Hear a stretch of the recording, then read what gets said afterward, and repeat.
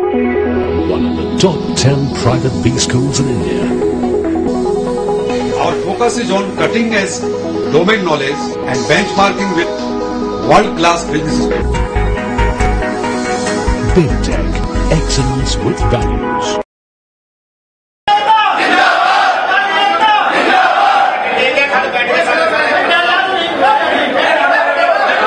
कर रहे हैं क्या मांगे ज़िले में बिगड़ती हुई कानून व्यवस्था को लेकर सभी व्यापारी एकजुट हुए हैं। खासतौर पर ग्रेटर नोएडा में पिछले पंद्रह दिनों में जो वारदातों ने अधाधुन तेज़ी आई है, उसके लिए सभी व्यापारी लामबंद हुए हैं। और ये सिर्फ़ दो दिन का हमारा प्रदर्शन है। परसों हम लोगों ने एक मीटिंग करी थी कि हमें मिलकर सभी लोगों को एसएसपी को ज्ञापन देना है, लेकिन एसएसपी छुट्टी पर हैं। तो आज हम लोग डीएम ऑफ़िस आए हुए हैं, डीएम को ज्ञापन देने के लिए।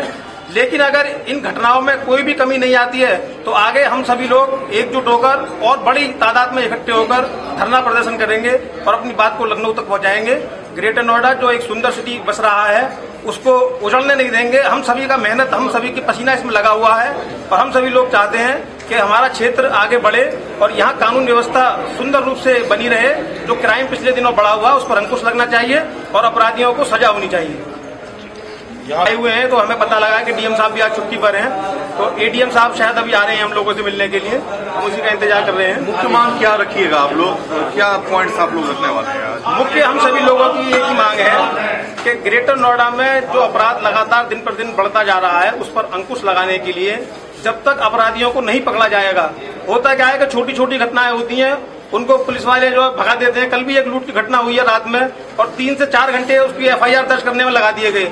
होता क्या है कि छोटी घटना में फिर व्यापारी जाने के लिए डरता है कि हम जाएँगे और वो रिपोर्ट लिखी नहीं जाएगी।